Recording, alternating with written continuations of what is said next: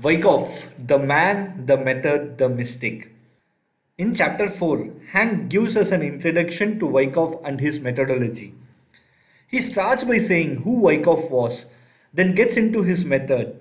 Later tells us why he calls Wyckoff method a mistake. Wyckoff started as a stockbroker's runner at the age of 15, become a brokerage firm auditor a few years later, and at age 25 opened his own brokerage firm.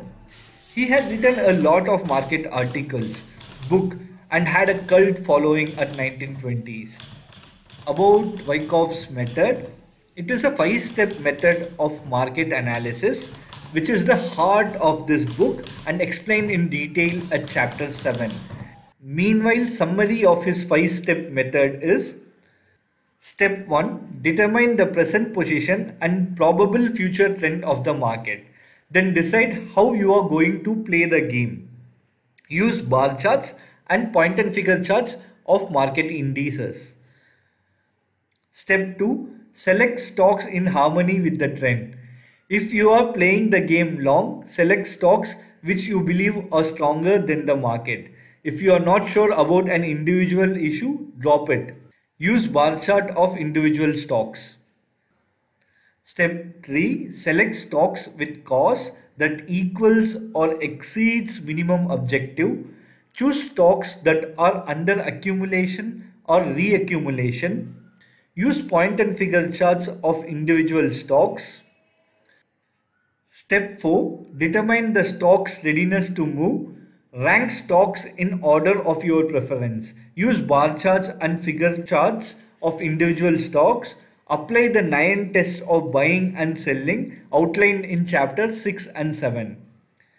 Step 5. Time your commitment with a turn in the stock market index. Put your stop loss in place and relax. Then follow through until you close out the market position. Use bar chart. Wyckoff the Mystic. The mystic of Wyckoff is wrapped up with three things. First, his celebrity status revealed by Penn, who declared Wyckoff a titan of technical analysis. 2. The Wyckoff method's codification of the best practices used by the old-time traders technician, many examples of which are found in the famous book Reminiscence of Stock Operator. 3. The Wyckoff concept of composite man. Let's look at Wyckoff's composite man. Wyckoff based the composite man and his own trading philosophy on observation and intimate understanding of such famous old-time profession of the early 20th century as James R. Keene, Russell Sage, Edward H. Harriman and Jesse Livermore. Indeed, Reminiscence of Stock Operator, which is dedicated to Jesse Livermore, is an excellent model of the composite man or composite operator.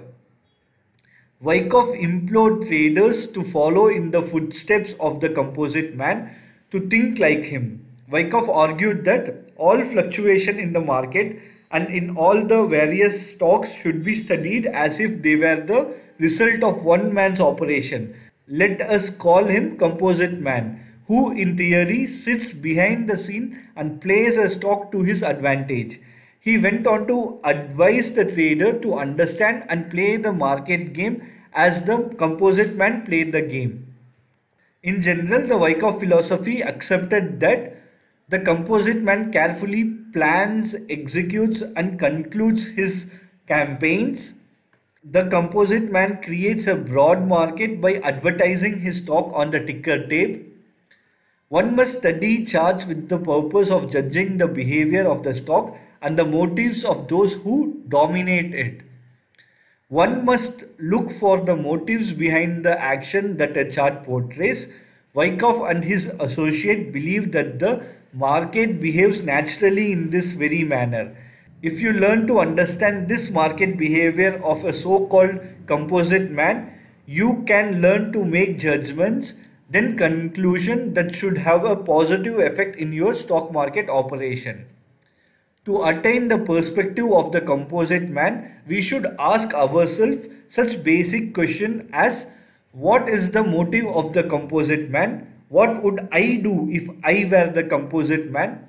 In addition to this basic question, we should add questions like what is that the composite man is attempting to prepare or carry out or conclude?